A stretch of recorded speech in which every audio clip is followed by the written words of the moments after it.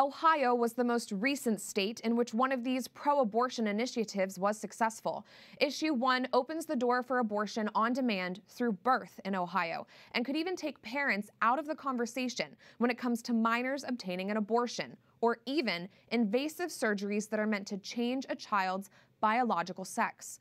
Joining me now to shed light on what happened in Ohio is Matt Salisbury, managing partner and director of digital at Pesch Strategy. Matt, welcome to the show. Thanks for joining me. Your team worked in the final weeks leading up to the vote in Ohio to try and get the pro life message out.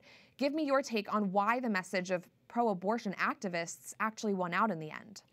Prudence, thanks so much. It's it's tremendous to be here with you. Um, as you mentioned, we were involved in the end game there in Ohio, uh, specifically to work with the Physicians Coalition uh, that was uh, working hard on the pro-life side. We were unfortunately unsuccessful. I think the pro-abortion side, the abortion movement in general, has been very successful because they've been able to medicalize their position. They've been able to put a white coat on the abortion industry. Uh, it's worked with voters. We've seen that over and over again. They've got good messaging. They've got the right spokespeople. Uh, they've got at least the uh, perception that they've got grassroots support uh, and they've got a lot of money and they're being very uh, you know they're being tremendously successful with that. Right doubling down on that that talking point that abortion is health care it's very troubling.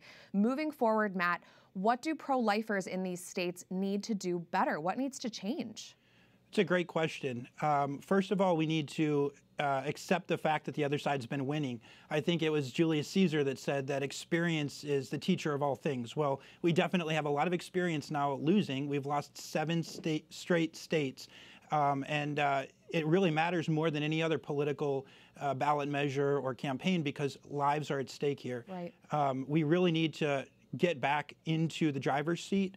Um, the other side, they've got a two track message that's really resonated. The first is this idea of freedom, getting government out of the exam room. Uh, Molly Ball unpacked this in the Wall Street Journal recently, did a really, really good job um, kind of explaining how the other side was able to co opt our own message um, and use it against us in a red state. The second track is protection from harm protecting women and girls, especially from harm. We know this is absurd. Every time an abortion uh, is performed, one of the patients is, dies, and the other patient is usually scarred for life or for a significant amount of time.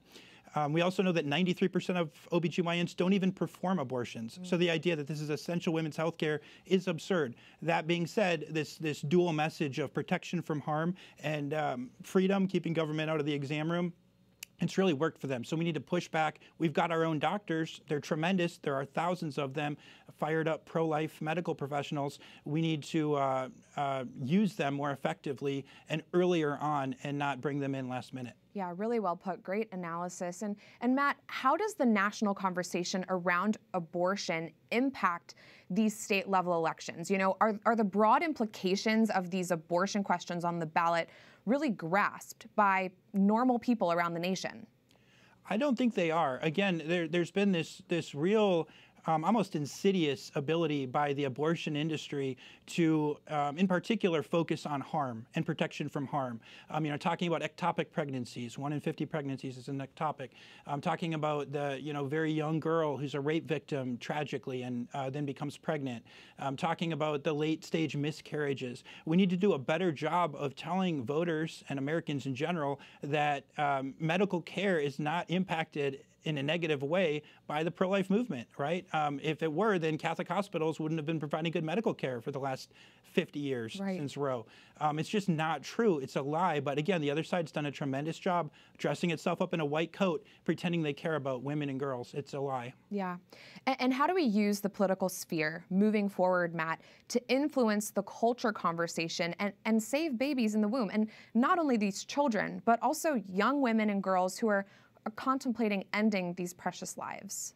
It's a great question. I think this idea of a whole life ethic, where we really start to focus not just on the moment of decision around abortion, um, but actually looking at how we care for women and girls and families uh, that may be struggling. You know, oftentimes these are fraught choices, and this is not made lightly by people. Mm. So, really walking with them, accompanying them, um, I think the Catholic Church in particular does a really good job with that.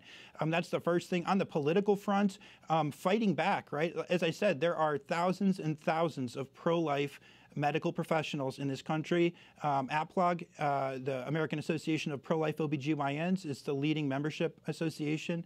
of pro-life medical professionals. They do tremendous work um, uh, year-round, and not just in political contexts. Um, there's a lot of good uh, physicians and uh, medical professionals at work every day taking care of their patients, following Hippocratic medicine and the principles of Hippocratic medicine. Um, I think it could also be very helpful if people would talk to their own medical professional, right? Your doctor, the nurse who's mm-hmm. taking care of you. Um, it's important that uh, you know the the people who provide our care um, share our values and share our perception of human life and the sacredness and dignity of human life. So I think that conversation is one that's an easy place to start. Absolutely. Well, very insightful conversation. Matt Salisbury of Pesch Strategy. Thanks for joining me. God bless. Thanks, Prudence.